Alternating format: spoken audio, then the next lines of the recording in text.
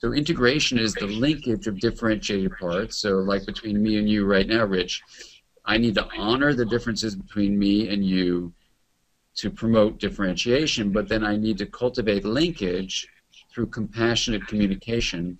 And this integrative communication, that is honoring differences, promoting linkages, can be seen as the source of a healthy relationship that you and I have um, between us, and, and that we're demonstrating, you know, in this collaborative, what's called contingent communication right here in this moment.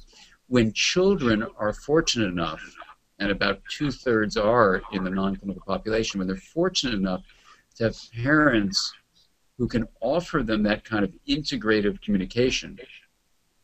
Research in attachment, which doesn't use the concept of integration, but as an attachment researcher, I've kind of translated attachment uh, mm-hmm. findings through the lens of interpersonal neurobiology, and I see attachment research basically is showing that when relationships are integrative in the communication patterns that parents offer, number one, they come from parents who have made sense of their own lives, and that's in explored in the developing mind and then translated for parents and parenting from the inside out, which I wrote with Mary Hartzell. Now, your own self-understanding is the best predictor of how a child would be attached to you as a parent. So that's a starting place. But the next place after making sense of your own life, which you can do in the Inside Out book, is you say, well, then how do I help promote integration in my child?